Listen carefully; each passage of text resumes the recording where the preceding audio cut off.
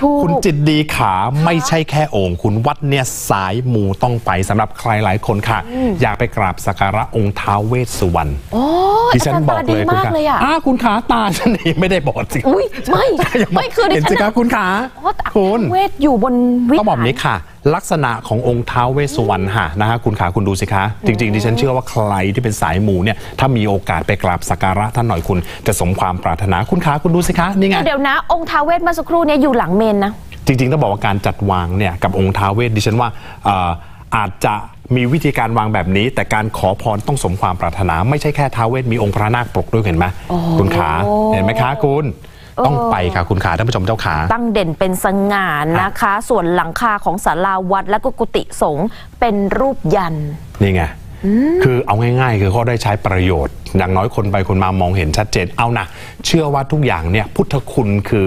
เรื่องราวของทำให้คนสบายใจคุณขาอืมเห็นแต่ไหมในมุมของท่านเจ้าอาวาสบอกก็งบน้อยอะค่ะก็ทำแบบนี้มันประหยัดดีไม่ต้องใช้กระเบื้องมุงหลังคาดีนะ อยากให้ท่านผู้ชมหลายคนค่ะ ถ้ามีโอกาสแวะไปเที่ยวซะหน่อยอย่างน้อยก็ไปร่วมบุญกลับสักการะได้บุญกลับบ้านด้วยคุณขาใช่แล้วก็พาคนนี้เข้าไปทำบุญด้วยนะคะ จะได้จิตใจอยู่กับร่องกับรอยป้าจะก็ต้องพาแฟนไปสิควงแฟนเข้าวัดเหรอใช่แฟนที่ชื่อลอง